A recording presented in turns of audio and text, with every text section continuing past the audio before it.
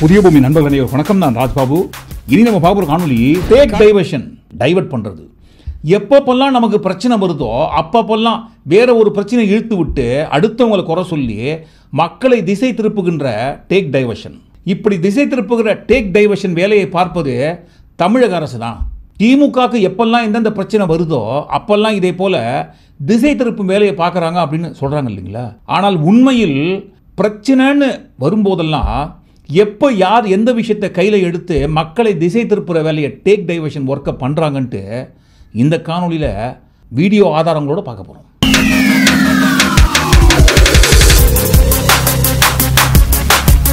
நிதி பங்கீடு. ஒவ்வொரு மாநிலத்துக்கும் ஒன்றிய அரசு தரப்பில் இருந்து பகிர்ந்தளிக்கும் நிதி பங்கீடு. இந்த நிதி பங்கீடு என்பது என்னமோ ஒன்றிய அரசு பாக்கெட்ல இருந்து ஒரு பத்து ரூபாய் எடுத்து ஒவ்வொரு மாநிலத்துக்கும் அவங்க சொந்த நிதியிலேருந்து எடுத்து கொடுக்குற பங்கீடு கிடையாது. அல்லது ஒன்றிய அரசு தரப்பில் இருந்து அவங்க ஏதோ ஒரு புதுசு புதுசாக தொழில் வளத்தை உருவாக்கி அதன் மூலமாக வருகின்ற நிதியை ஒவ்வொரு மாநிலத்துக்கும் பகிர்றாங்க இல்லைங்களா? அதுவும் கிடையாது. இந்த நிதியை பகிர்ந்து அளிப்பது என்பது ஒவ்வொரு மாநிலத்தில் இருந்தும் நிதியை வாங்குறாங்க ஒன்றிய அரசு. அப்படி வாங்கிட்டு அந்த மாநிலத்துக்கு நிதியை பகிர்ந்து அளிப்பது அது எந்த அளவுக்கு ஓர வஞ்சனை நடந்துட்டுருக்கு அப்படின்ற ஒரு உண்மையை நேற்றைக்கு முன்தினம் அக்டோபர் மாதம் பதினொன்றாம் தேதி சட்டமன்றத்தில் தமிழக அரசு நிதி அமைச்சர் தங்கம் தென்னரசு அவர்கள் போட்டு உடைகிறாரு போட்டு உடைக்கிறாருன்னா போகிற போக்கில் ஏதோ ப்ரெஸ் மீட்லேயோ அல்லது அவரது நண்பர்கள் கிட்டவோ கூட உட்கார்ந்து இருக்கிறவங்க கிட்டலாம் சொல்லலைங்க. சட்டமன்றத்தில் போட்டு உடைக்கிறாரு. எதற்காக சட்டமன்றத்தில் போட்டு உடைக்கிறாருன்னு அழுத்தமாக சொல்கிறோன்னு சொன்னால் போகிற போக்கில் எல்லா இடத்துலையும் உட்காந்து பேசுகிற மாதிரிலாம் சட்டமன்றத்தில் பேசிட முடியாது. சட்டமன்றத்தில் நாம் பேசுகின்ற ஒவ்வொரு வார்த்தைக்கும் பேசுகிறவங்க தான் பொறுப்பு. அப்படி பேசுகின்ற ஒவ்வொரு வார்த்தையும் ரெக்கார்ட் செய்யப்படும். ஒரு வருஷம் இல்லை பத்து வருஷம் இல்லை பல ஆண்டுகள் கழித்து பார்த்தால் கூட இந்த நபர் சட்டமன்றத்தில் இதற்கு முன்பாக என்ன பேசுகிறாரு அப்படின்ற ஒரு ரெக்கார்டு சட்டமன்றத்தில் பதிவு செய்யப்படும். ஸோ அப்படி இருக்கிற சட்டமன்றத்தில் பேசுகின்ற ஒவ்வொரு வார்த்தைக்கும் பேசுபவர் தான் பொறுப்புன்னு தெரிந்து பொய்யெல்லாம் போகிற போக்கில் சொல்ல முடியாது. முதல்ல இந்த நிதி பகிர்வை குறித்து அவர் பேசுனதை பார்த்துருவோம். உதாரணத்திற்கு ஒன்றிய அரசிற்கு நம்ம வரி வருவாயாக தமிழ்நாடு செலுத்தக்கூடிய ஒவ்வொரு ஒவ்வொரு ஒரு ரூபாய். ஒரு ரூபாய்க்கு நம்ம அவங்க கொடுக்குறோம்னு சொன்னால் அதுக்கு ஈடா நமக்கு இருபத்தி ஒன்பது பைசா மட்டுமே திரும்ப கிடைக்கிறது. மாறாக ஒன்றியத்தில் ஆளக்கூடிய பாரதிய ஜனதா கட்சி ஆளக்கூடிய உத்தரப்பிரதேச மாநிலத்தில் பார்த்து என்று சொன்னால் அந்த மாநிலம் செலுத்தக்கூடிய ஒரு ரூபாய் அவர்கள் கொடுக்கக்கூடிய அந்த வரிக்கு அவர்களுக்கு கிடைப்பது ரெண்டு ரூபாய் எழுபத்தி மூணு பைசா கிடைக்கிறது. அதுவும் சொல்லிட்டே சொல்கிறாரு நான் போகிற போக்கில் சொல்லலைங்க. ஆதாரபூர்வமாக கணக்கோட சொல்கிறேன்ட்டு அது ஏதோ போகிற போக்கில் நான் சொல்ல விரும்பவில்லை. ஆனால் அதற்கு உரிய தரவுகளையும் இந்த மாமன்றத்திலே நான் எடுத்து வைப்பது என்னுடைய கடமை என்று நான் கருதுகிறேன். இங்கிருந்து தமிழ்நாடு அரசு ஒரு ரூபா கொடுக்குற அந்த நிதியில் இருந்து அதற்கு மாறாக பகிர்ந்து அளிக்கும் நிதி என்பது ஒரு ரூபாய்க்கு ஒன்றிய அரசு தரப்பில் இருந்து நமக்கு வருவது இருபத்தி ஒன்பது காசு. இதே ஊபி அரசு உத்தரப்பிரதேச மாநில அரசு அவங்க கொடுக்குற ஒரு ரூபாய்க்கு அவங்களுக்கு திரும்ப ஒன்றிய அரசு கொடுக்கின்ற நிதி பங்கீடு என்பது ரெண்டு ரூபாய் எழுபத்தி மூணு காசு. ஆனால் தமிழக அரசு கொடுக்கும் நூறு சதவீதம் வரிக்கு திரும்ப வருவது இருபத்தி ஐந்து சதவீதம். ஊப்பி கொடுக்கும் நிதிக்கு எக்ஸ்ட்ரா கொடுப்பது இருநூறு சதவீதம் அதிகம். இரண்டாயிரத்தி பதினாலு பதினஞ்சிலிருந்து ரெண்டாயிரத்தி இருபத்தி ஒன்று இருபத்தி இரண்டாம் ஆண்டு வரை தமிழக அரசு நிதி இங்கிருந்து எவ்வளோ அனுப்பியிருக்காங்க? திரும்ப அவங்க எந்த அளவுக்கு பகிர்ந்திருக்காங்க அப்படின்ற ஒரு விபரத்தை ரொம்ப தெளிவாக சொல்லியிருக்காரு சட்டமன்றத்தில். நிதியாண்டு ரெண்டாயிரத்தி பதினாலு பதினைந்து முதல் இருபத்தொன்று இருபத்தி ரெண்டு வரை ஒன்றிய அரசனுடைய நேரடி வரியில் தமிழ்நாட்டினுடைய பங்களிப்பு மட்டும் ரூபாய் ஐந்து புள்ளி ஒன்று ஆறு லட்சம் கோடி. ஆனா வரி பகிர்வாக இந்த காலகட்டத்தில் நமக்கு எவ்வளவு கிடைச்சிருக்குன்னு கேட்டிருக்குன்னா வெறும் ரெண்டு புள்ளி சுழி எட்டு லட்சம் கோடி மட்டும்தான் நமக்கு கிடைச்சிருக்கு. பார்த்தீங்களா கணக்கை? சுமார் அஞ்சு லட்சம் சொச்சம் கோடி இங்கேருந்து அனுப்பியிருக்காங்க. ஆனால் பாருங்கள் அங்கேருந்து நமக்கு வந்திருப்பதோ ஒரு ரெண்டு லட்சம் கோடி தான் நடுவில் எவ்வளோ கோடி ஆட்டையை போட்டிருக்காங்க? ஆட்டையை போட்டு என்ன பண்ணுறாங்க ஊருக்குள்ள ஒரு கட்சி இருக்கு இல்லைங்களா? பட்டி பட்டி பட்டி பர்டிகுலர்லி பிஜேபி ஆ, அந்த கட்சி தானே ஒன்றிய அரசில் ஆட்சியில் இருக்கிறாங்க. அந்த கட்சி எங்கெங்கெல்லாம் எந்தெந்த மாநிலத்திலாம் இருக்காங்களோ அவங்களுக்கெல்லாம் எங்கே பொருளாதாரம் ரொம்ப கம்மியாகுதோ அவங்களால முன்னுக்கு கொண்டு வர முடியலையோ அதனால் பாருங்கள் முன்னுக்கு வந்த தமிழ்நாடு கொடுக்குற நிதியை எடுத்து மொத்தமாக அந்த மாநிலத்தை ஆட்டையை போட வேண்டியதான் இதே இது பாரதிய ஜனதா கட்சி ஆளக்கூடிய மாநிலத்தை எல்லாம் நீங்க ஒப்பிட்டு பார்க்கின்ற போது நிலைமைகள் வேறாக இருக்கிறது. உத்தரப்பிரதேச மாநிலம் ரெண்டு புள்ளி ரெண்டு நாலு லட்சம் கோடி மட்டுமே அவருடைய பங்களிப்பு. உத்தரப்பிரதேச மாநிலத்துக்கு கிடைத்திருக்கக்கூடிய வரி பகிர்வு என்பது ரூபாய் ஒன்பது புள்ளி சுழி நாலு லட்சம் கோடி என்பது பார்ப்பேன் சொன்னால் அவர்களுடைய வரி பங்களிப்பை விட அவர்கள் பெற்றிருக்கக்கூடிய வரி பகிர்வானது நான்கு மடங்கு அவர்களுக்கு கொடுத்திருக்கிறார் என்று சொன்னால் இதுதான் ஒரு கண்ணிலே வெண்ணையும் இன்னொரு கண்ணிலே சுண்ணாம்பையும் வைக்கக்கூடிய ஒன்றிய அரசினுடைய செயல்பாடு என்பதை நான் இந்த மன்றத்திற்கு கவனப்படுத்த விரும்புகிறேன். இதே ஊபி ஒரு ரெண்டு லட்சத்தி சொச்சம் கோடி கொடுத்துருக்காங்க. ஆனால் அவங்களுக்கு திரும்ப ஒன்றிய அரசு பகிர்ந்தளித்த நிதி என்பது சுமார் ஒன்பது லட்சம் கோடி. இப்படி தான் முன்னேறி இருக்கும் மாநிலத்தில் கொடுக்குற நிதியை ஒட்டுமொத்தமாக எடுத்து முன்னேறாமையே முன்னேற்றாமல் வைத்து கொண்டிருக்கும் இதை போகிற மாநிலங்களுக்கு வாரி வழங்குறாங்க. வாரி வழங்கிட்டு ஏதாவது இது குறித்து நம்ம கேட்டால் வேமா சூசோ இல்லாமல் இந்த கட்சியோட மாநில தலைவரும் ஒருத்தர் சுற்றி நிற்கிற ஊருக்குள்ளா. என் பேர் அண்ணாம அண்ணாம அண்ணாம அண்ணாமலை. அர்ஜென்ட்டா அர்ஜென்ட் ஆ அவர்தான். அவர் என்ன பண்றாரு? நிதியமைச்சர் தங்கம் தென்னரசு அவர்கள் கூறிய இந்த விஷயத்தை குறித்து அவரை விட இவருக்கு நிதி சம்பந்தப்பட்ட விஷயம் ரொம்ப அதிகமாக தெரிஞ்ச மாதிரி ஒரு நீண்ட நெடிய ரெக்கார்டை போடுறாரு. தமிழக அரசு தரப்பிலிருந்து சொல்வதெல்லாம் பொய். நீ இவ்வளோ இவ்வளோ நிதி அவங்க கொடுத்துருக்காங்க. நாங்கள் இவ்வளோ இவ்வளோ நிதி திருப்பி கொடுத்துருக்கோம் சொல்லிட்டு நிதி அமைச்சரை காட்டிலும் இவருக்கு ஏதோ இந்த நிதி சம்பந்தப்பட்ட விஷயத்தில் அதிகப்படியான இருக்கிற மாதிரி நினச்சி சொல்கிறாரு ஆனால் தங்கம் தென்னரசு அவர்கள் சொல்லும்போது குறிப்பிட்டு ஒரு வார்த்தையை நிறைய இடத்துல பதிவு பண்ணுறாரு ஒன்றிய அரசனுடைய நேரடி வரியில் நேரடி வரியில் நேரடி வரியில். நேரடி வரி நேரடி வரி டைரக்ட் டாக்ஸ் அப்படின்ற ஒரு டீட்டெயில்ஸை பல இடங்களில் தெளிவாக பதிவு பண்ணுறாரு இந்த நிதி வரி வரி பகிர்வு வரி வருவாய் இதெல்லாம் டைரக்ட் அண்ட் இன்டைரக்ட் நேரடி மறைமுகம் அப்படின்னு ஒன்று இருக்குது அவர் சொல்லுவது இந்த நேரடியாக தமிழக அரசு கொடுக்கும் நிதியில் இருந்து ஒன்றிய அரசு தரப்பில் இருந்து பகிர்ந்தளிக்கும் நேரடி வரியை பற்றி ஆனால் பாருங்க ஆழாக்குமலை சம்பந்தா சம்பந்தம் இல்லாமல் இன்டைரக்டாக வருகின்ற டேக்ஸு எல்லாத்தையும் ஒட்டுமொத்தமாக சேர்த்து இவ்வளவு லட்சம் வாங்கியிருக்காங்க அவ்வளோ லட்சம் வாங்கியிருக்காங்கன்ட்டு இந்த குழப்பமான ஒரு கணக்கை குறிப்பிட்டு பேசுறாரு. தலைவர் தெளிவா திரு அண்ணாமலை அவர்கள் தெளிவா சொல்லியிருக்கிறாங்க. கடந்த ஒன்பது ஆண்டுகளில் தமிழகத்திற்கு மத்திய அரசு வழங்கியுள்ள திட்டங்கள் மதிப்பு பத்து புள்ளி ஏழு ஆறு லட்சம் கோடி. இது தமிழக வரி பங்களிப்பை விட இரண்டு மடங்கு அதிகம் அப்படிங்கறத ரொம்ப தெளிவா கடைசி பாயிண்ட்ல மென்ஷன் பண்ணிருக்காங்க. நீங்களும் அதை வந்து குறிப்பிட்டு சொன்னீங்க. சரி குழப்பமான கணக்கை குறிப்பிட்டு பேசுறாரு. பேசும்போது ஏதாவது ஒரு ரெக்கார்டை போடுங்க எடுத்தால இவ்வளவு நிதியை இவங்க கொடுத்தாங்க இவ்வளவு நிதியை ஒன்றிய அரசு தரப்பிலிருந்து மறுபடியும் திரும்ப கொடுத்துருக்காங்க. அவங்க கொடுத்ததை விட அதிகமாக பல மடங்கு உயர்த்தி தான் ஒன்றிய அரசு தரப்பிலிருந்து தமிழக அரசு கொடுத்தாங்க அப்படின்னு ஒரு ரெக்கார்டை போட வேண்டியதுனே தங்கம் தென்னரசு அவர்கள் சட்டமன்றத்தில் பேசும்போது அதிகாரப்பூர்வமாக ஆதாரப்பூர்வமான ஆதாரத்தை கையில் வைத்துக்கொண்டு பேசுகிறாரு ஆனால் ஆழாக்குமலை இந்த நிதி விஷயத்தில் எல்லாத்தையும் ஒட்டுமொத்தமாக கரைச்சி குடித்த மாதிரியே போகிற போக்கில் கையில் மொபைலை வச்சு அப்படியே டைப் பண்ணி ஆச்சு தள்ளி விடுறாரு. நமக்கு தான் எந்த ஒரு கணக்குமே வராதுங்க. இதற்கு முன்பாக பிடிஆர் அவர்கள் நிதியமைச்சராக இருந்த சமயத்தில் எந்த ஒரு விஷயத்தை குறித்து பேசினாலும் முதல்ல ஆழாக்குமலை தான் முன்னாடி வந்து அவர் என் செருப்புக்கு கூட யாருங்க பிடிஆர் அவர்கள் என் செருப்புக்கு கூட சமம் இல்லைன்னு சொல்லுவார். ஏன்னா என்னுடைய செருப்புக்கு கூட நீங்க லாயக்கல்லைன்னு சொன்ன என்ன தவறு? ஏன்னா என்னுடைய செருப்புக்கு கூட நீங்க லாயக்கல்லைன்னு சொன்ன என்ன தவறு? இப்போ பாருங்க தங்கம் தென்னரசு அவர்கள் ஏதாவது ஒரு விஷயத்தை குறிப்பிட்டு இந்த நிதி சம்பந்தப்பட்ட விஷயத்தை குறித்து ஏதாவது பேசினார்னா உடனே பாருங்க அவர் பொய் சொல்றாரு. மொத்தமாகவே திமுகவுக்கு பொய் சொல்றது தான் வேலை. யாருங்க? திமுகவுக்கு பொய் சொல்றது தான் வேலைன்ட்டு ஆழாக்குமலை சொல்றாரு. நாடி நரம்பு ரத்தம் சத புத்தி எல்லாத்திலையும் ஒட்டு மொத்தமாக பொய்யிலேயே ஊறி கட்டமைச்சு வச்சுனுக்கிற ஆழாக்குமலை சொல்கிறாரு திமுக பொய் சொல்லுதான். சரி திமுக அரசு பொய் தான் சொல்லுதுன்னு வச்சுக்கும் போது ஆதார் தட்டு போடுங்க. ஆதார் தட்டு போட்டு பேச வேண்டியதானே சட்டமன்றத்தில் தங்கம் தென்னரசு அவர்கள் ஆதாரத்தோடு பேசாருங்க. நீங்கள் ஆதாரத்தோடு பேசுங்க. நமக்கு இந்த ஆதாரம் அப்படின்ற ஒரு விஷயத்தை பற்றி ஏதாவது தெரியுமா? தெரியாது. ஒரு மாநில அரசோட நிதி நிலவரத்தை குறித்து ஆழாக்குமலைனா தெரியுங்க. தனக்கு சொந்தமான ஒரு வாட்சிக்கு பில்லு கேட்டாங்கன்னு சொல்லிட்டு ஒரு டூப்ளிகேட் பில்லை ரெடி பண்ணி கொடுத்தாரு. கையில் எழுதி அதுவும் அடித்து அடித்து ஒயிட்னர் வச்சு பேனாவால் அடித்து அடித்து இதே போல் ஒரு டூப்ளிகேட் பில்லை ரெடி பண்ணி கொடுத்தாரு. அதுவும் இந்த டூப்ளிகேட் பில்லை ரெடி பண்ணி கொடுப்பதற்கு பல மாதங்கள் டைம் எடுத்துக்கொண்டாரு கையில் அந்த வாட்சிக்கு வாட்சிக்கு மட்டும் கிடையாது ஏதோ ஒரு பொருளுக்கு பில் இருந்ததுன்னா அது நமக்கு சொந்தமான பொருள் பா இந்தாப்பா பார்த்துக்கோங்கன்னு பில்லு ஸ்பாட்லேயே எடுத்து போட்டிருப்பாங்க.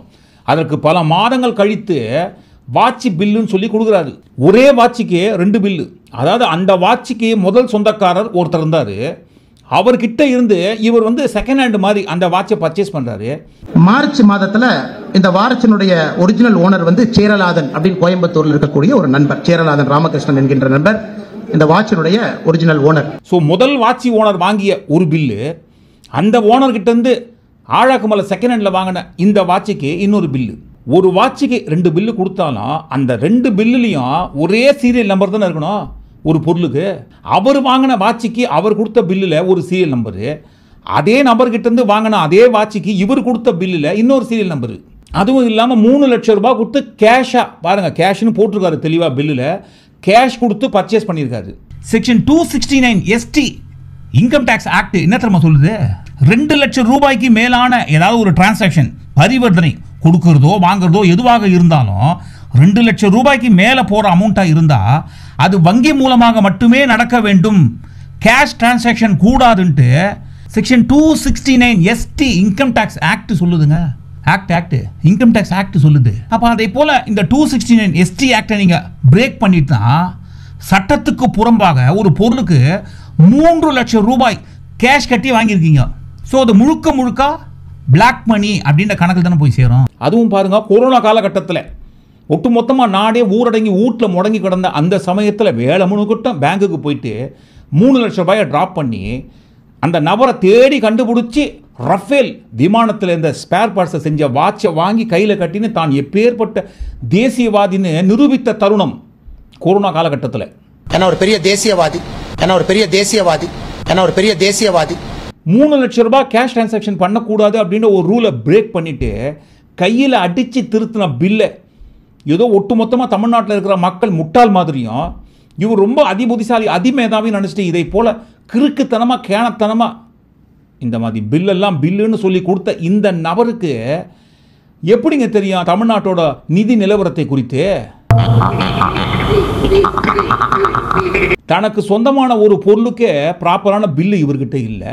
ஆனால் பாருங்க தமிழக அரசு இவ்வளோ லட்சம் கோடி கொடுத்துருக்காங்க. ஒன்றிய அரசு தரப்புலேருந்து இவ்வளோ லட்சம் கோடி திரும்ப கொடுத்துருக்காங்க அப்படின்னு வேமா சூசோ இல்லாத பொய் கணக்கெல்லாம் காட்டின்னு சுற்றின்னு இருக்காரு. பொய் இவர் பேசிட்டு திமுக ஒட்டுமொத்தமாக பொய் பேச தான் தொழிலாம் அவங்களுக்கு எப்பெல்லாம் பிரச்சனை வருதோ இந்த இடத்துல தான் இந்த டேக் டைவர்ஷன் விஷயம் வருது. திமுக அரசுக்கு எப்பப்பெல்லாம் ஏதாவது பிரச்சனை வருதோ அதை திசை திருப்புவதற்கு டேக் டைவர்ஷன் பண்ணுறதுக்கு ஒன்றிய அரசு மேலே பழியை போட்டு ஆ பாருங்க ஒன்றிய அரசு இதை போலாம் அநியாயம் பண்ணுறாங்கன்னு சொல்கிறது தான் வேலையே. அதாவது இந்த தமிழக அரசுக்கு எப்பெல்லாம் நெருக்கடி வருகிறதோ எப்பெல்லாம் பிரச்சனை வருகிறதோ அப்பெல்லாம் இந்த மக்களை திசை திருப்பதற்கு மத்திய அரசின் மீது ஏதாவது ஒரு பழியை தேடி போட வேண்டும். திசை திருப்பும் வேலையை குறித்து இவங்க சொல்றது. எவங்க? இந்த கட்சி. Parti- parti- parti- particularly BJP. ஆ, அந்த கட்சி சொல்றது தான் ரொம்ப வினோதமா விசித்திரமா ஆச்சரியமா படு பயங்கரமா இருக்குது. திசை திருப்புகிற வேலையை வந்த நாள் முதல் இந்த நாள் வரை பார்க்கறது இவங்க தான் அதுவும் சாதாரணமான திசை திருப்பல் வேலை கிடையாதுங்க. மதத்தை வைத்து திசை திருப்புகிற வேலை. நம்ம பத்து ஆண்டு காலம் ஆட்சியில் இருந்த இந்த சமயத்தில் மக்களுக்கு என்னென்ன நல்லது பண்ணோம் அப்படின்னு சொல்லி மக்கள்கிட்ட போய் ஓட்டு கேட்டால் ஆமாப்பா இவ்வளோ நல்லது பண்ணிக்காங்கப்பா இவங்களுக்கே திரும்ப போட்டுருவோம் அப்படின்னு போட்டுற போகிறாங்க ஆனால் பாருங்கள் நம்ம பெருசாக எடுத்து சொல்வதற்கென்று கடந்த பத்து ஆண்டுகளில் எதுவும் மக்களுக்கு செய்யலை நல்லாவே தெரியுது. அதனால தான் பாருங்கள் திட்டங்களை குறித்து மக்கள்கிட்ட கொண்டு போய் சேர்க்க முடியாதுன்ட்டு மதத்தை உள்ளே இழுக்கிறது. மதத்தை வைத்தே திசை திருப்பது மக்களை. ரெண்டாயிரத்தி பதினாலையும் பண்ணாங்க அதை தாண்டி ரெண்டாயிரத்தி பத்தொம்போதில் அதை விட அதிகமாக பண்ணாங்க. அதே வேலையை இப்போ ரெண்டாயிரத்தி இருபத்தி நாலுலையும் அந்த ஆயுதத்தை கையில் எடுத்து மக்கள் திசை திருப்புற வேலையை பண்ணுகிறாங்க. உதாரணத்துக்கு ரெண்டு விஷயம். பல விஷயங்கள் இருக்குது ரொம்ப மேஜரான இப்போ நடந்த விஷயத்தை குறித்து. நிதியமைச்சர் நிர்மலா சீதாராமன் அவர்கள் சனாதன தர்மத்தை ஒழிப்போம்னு சொன்ன உதயநிதி ஸ்டாலின் அவர்களை குறிப்பிட்டு ஒரு இன்டர்வியூவில் பேசும்போது பிரஸ் மீட்டில் சாரி பேசும்போது இதே தமிழ்நாட்டில் ராமர் கழுத்தில் செருப்பு மாலை போட்டு ஊர்வலம் கொண்டு வந்ததை அதுவும் பாருங்க நான் கண்ணால பார்த்துருக்கேன் அப்படின்னு ஏழு ஸ்வரங்களையும் இழுத்து கண்ணால பார்த்தாங்களாம். இதே தமிழ்நாட்டில் நான் கண்ணால கண்ட காட்சியை சொல்றேன். உங்களுக்கு ராமர் பிடிக்காம இருக்கலாம். அவர் தெய்வம் இல்லை அவர் என்ஜினியர் இல்லைன்னு நீங்க சொல்லலாம். அவர் சேது பாலத்தை கட்டினாரான்னு கேட்கலாம். ஆனா நான் கண்ணால பார்த்த விஷயத்த மனசுல வேதனையோட இன்னைக்கும் வேதனையோட சொல்றேன். உங்களுக்கு ராமர் வேல்யூ இல்லை. அந்த ராமரோட கழுத்தில் செருப்பு மாலையை போட்டு ஊர்வலம் நடத்தின தமிழ்நாட்டில் நான் வளர்ந்துருக்கேங்க. இன்றளவும் ராமர் கழுத்தில் செருப்பு மாலை போடப்பட்டதாக நம்பப்படுகின்ற அந்த ஆண்டு ஆயிரத்தி தொள்ளாயிரத்தி எழுபத்தி ஓராம் ஆண்டு. சேலத்தில் நடந்த மூடநம்பிக்கை ஒழிப்பு மாநாட்டில் தந்தை பெரியார் அவர்கள் இதை செய்தார் அப்படின்னு சொல்கிறாங்க ஆயிரத்தி தொள்ளாயிரத்தி எழுபத்தி ஒன்று அப்படின்னு சொல்லும்போது சேலத்தில் நடந்தது. நிர்மலா சீதாராமன் அவர்கள் வயது இன்றைக்கு அறுபத்தி நாலு வயது. சம்பவம் நடந்ததாக சொல்லப்படுகின்ற அந்த ஆயிரத்தி தொள்ளாயிரத்தி எழுபத்தி ஓராம் ஆண்டில் அம்மாவுக்கு வந்து கண்டிப்பாக பன்னிரெண்டு வயசு இருக்கும். அதுவும் சம்பவம் நடந்தது சேலத்தில். இவங்க பிறந்து வளர்ந்தது எல்லாமே ரெக்கார்டில் இருக்கிறது எல்லாமே மதுரையில். ஸோ மதுரையில் இருக்கிற அந்த சமயத்தில் ஆயிரத்தி தொள்ளாயிரத்தி எழுபத்தி ஓராம் ஆண்டில் பன்னிரெண்டு வயது கொண்ட இவங்க எப்படி சேலத்தில் நடந்த சம்பவத்தை குறித்து நான் கண்ணால பார்த்தேன் அப்படின்னு சொல்ல முடியுங்க? ஆனா நான் கண்ணால பார்த்த விஷயத்த மனசுல வேதனையோட இன்னைக்கும் வேதனையோட சொல்றேன். இதே தமிழ்நாட்டில் நான் கண்ணால கண்ட காட்சியை சொல்றேன்.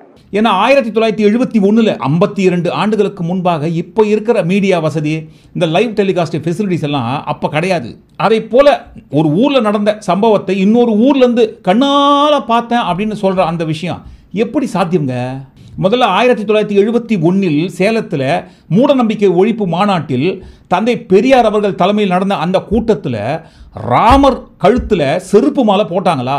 அதை இல்லை இல்லை இல்லைன்னு சொல்லிட்டு தந்தை பெரியார் அவர்களே சொல்லியிருக்காரு.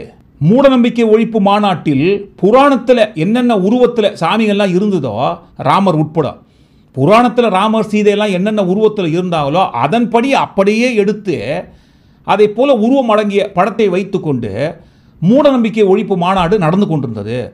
அந்த ஊர்வலத்துல ராவணன் அவன் பொண்டாட்டி சனியா இருக்கிறப்பல ராவணன் புராணங்கள் எது அது அப்படியே இருக்குது நானா ஒன்னும் கற்பனை பண்ணல. கதையில என்னென்ன இருக்குதோ அது அது அவங்களுக்கு அவமானம் மாட்டாங்க இது என்ன எழுதி ஊர்வலத்துல போறாங்க. ஊர்வலம் பெருசு. லட்சம் ஜனங்களுக்கு மேல. ஏறக்குறைய ரெண்டு மூணு பர்லாங்குக்கு நடக்குது.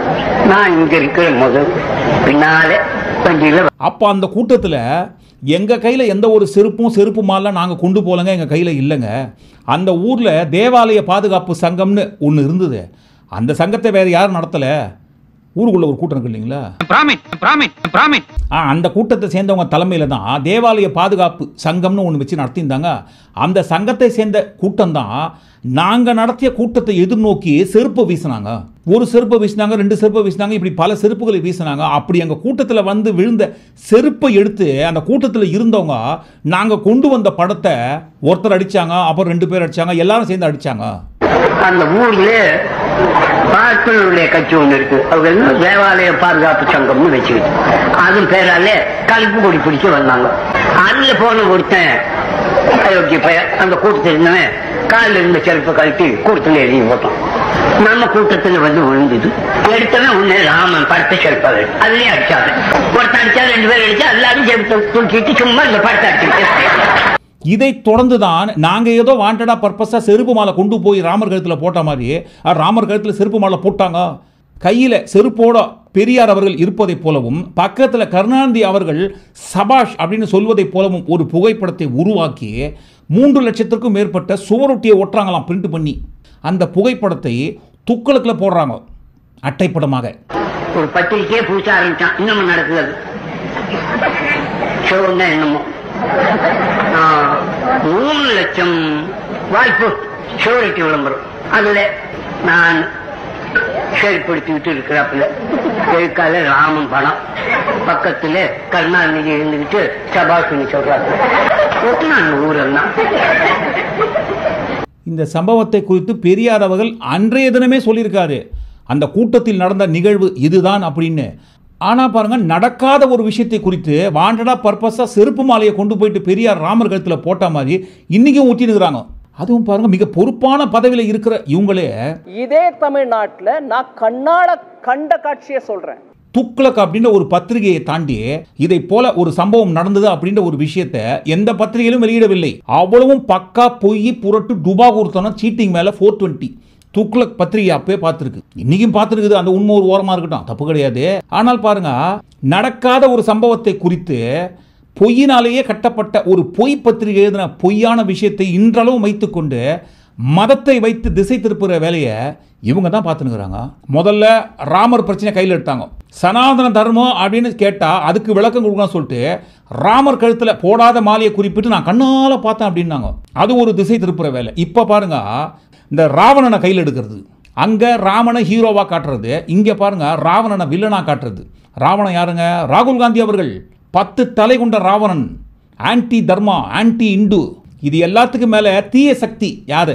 ராகுல் காந்தி அவர்கள் பத்து தலை கொண்ட ராவணன் போல் தீய சக்தி. புதுயுக ராவணன். இதை போல பத்து தலை கொண்ட ராகுல் காந்தி படத்தை வெளியிடுவது ஊருக்குள்ள இருக்கிற இந்த கட்சி பர்டிகுலர்லி பிஜேபி. ஆ அந்த கட்சியை சேர்ந்த தொண்டர்களோ இல்லை போகிற போக்கில் சின்ன சின்ன போஸ்டிங்கில் இருக்கிறவங்களோ இல்லை அதிகாரப்பூர்வமாக இந்த கட்சியோட அஃபிஷியல் சோஷியல் மீடியா பேஜ்லேருந்தே வெளியிட்டிருக்காங்க. ஆனால் இவர்களை பொறுத்த வரைக்கும் அதுவும் முக்கியமாக வட மாநிலத்தை பொறுத்த வரைக்கும் ராவணன் வில்லன் ஆனால் பாருங்கள் இங்கே தென்னிந்தியாவில் ராவணன் ஹீரோ உண்மையில் ராவணன் தான் ஹீரோ அது குறித்து நம்ம பேசணும்னு சொன்னால் இந்த காணொலி ரொம்ப பெருசாகிடும் நீண்ட நெடிய விவாதம் ஆகிடும் ராவணனை குறித்து பேசணும்னு சொன்னால் வேணா தனியாக பேசலாம் ராவணனை பற்றி அப்படி பார்க்கும்போது ராகுல் காந்தி அவர்களை ரொம்ப உயரமான இடத்துல கொண்டு போய் தான் வச்சுருக்காங்க. ராவணனோடு ஒப்பிட்டு. பதிலுக்கு நம்ம ஜிய ராகுல் காந்தி அவர்கள் ஜும்லா பாய்னு சொல்லிட்டாருன்னு வச்சுக்கோங்க. இருந்தாலும் ஒவ்வொரு சமயத்தில் இவங்களுக்கு இவங்க கட்சிக்கு எப்பெல்லாம் பிரச்சனை வருதோ இவங்க ஆட்சிக்கு எப்பெல்லாம் பிரச்சனை வருதோ அந்த மாதிரி சமயத்தில் இவங்க ஆட்சியை தக்க வைப்பதற்கும் அடுத்து வருகின்ற தேர்தலில் ஜெயிப்பதற்காகவும் கையில் எடுத்து மக்களை திசை திருப்புகிற வேலையை மதத்தை வைத்தே செய்வது இவங்க தான் வந்த நாள் முதல் இந்த நாள் வரை இந்த மதம் அப்படின்ற ஒரு ஃபார்முலாவை கையில் எடுத்து தான் மக்களை திசை திருப்புற வேலையை பார்த்துருக்குறாங்க இவங்க ஆட்சியில் இருந்த சமயத்தில் ஒட்டு மொத்தமாக செய்கிற அநியாயம் அக்கிரமம் எல்லாத்தையும் இந்த மதம் அப்படின்ற ஒரு விஷயத்தை வைத்து மூடி மறைக்கிறது. அன்னைக்கும் பண்ணாங்க இன்னைக்கும் பண்ணுகிறாங்க இதை போல திசை திருப்புற வேலை மதத்தை வைத்து திசை திருப்பும் வேலை இவங்க பார்த்துட்டு திமுக அரசுக்கு எப்பெல்லாம் பிரச்சனை வருதோ அப்பெல்லாம் இந்த மக்களை திசை திருப்பதற்கு மத்திய அரசின் மீது ஏதாவது ஒரு பழியை தேடி போட வேண்டும். அதுவும் பாருங்க சேலத்தில் நடந்த அந்த சம்பவத்தை மதுரையில் இருந்து பனிரெண்டு வயது கொண்ட ஒருத்தர் எந்த ஒரு டெலிகாஸ்ட் லைவ் டெலிகாஸ்ட் ஃபெசிலிட்டிஸ் இல்லாத அந்த சமயத்திலே நான் கண்ணால தமிழ்நாட்டில் திமுக செய்த அக்கிரமத்தை பார்த்தேன்னு சொல்றாங்க. ஆனா நான் கண்ணால பார்த்த விஷயத்த மனசுல வேதனையோட இன்னைக்கும் வேதனையோட சொல்றேன். இதற்கு பெயர் தான் வேமா சூசோ இல்லாமல் திசை திருப்புகிற வேலைன்னு சொல்லுவாங்க. நீங்கள் என்ன சொல்கிறீங்க ஒட்டுமொத்தமாக எல்லாத்தையும் கூட்டி கேச்சு இந்த காணொலிக்குள்ள வந்த எல்லா விஷயத்தையும் குறித்தும் முக்கியமாக யார் திசை திருப்பும் வேலையை பார்க்குறாங்க அப்படின்னு உங்களுக்கு கருத்துக்களை நீங்கள் கவுண்ட் மீண்டும் இன்னொரு காணொலி நான் சந்திப்போம். நன்றி. வணக்கம்.